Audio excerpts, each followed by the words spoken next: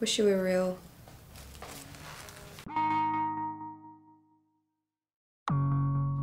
Outside the walls, there's nothing. That's why we created a utopia right here under our feet. We proved that we are our own gods.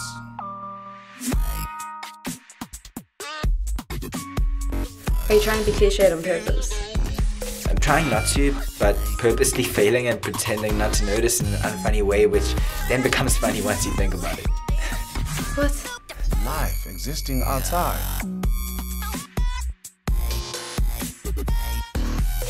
Your parents wanted to change the world, bring back the old days. And that is why they were killed. Are you fucking serious? This changes everything.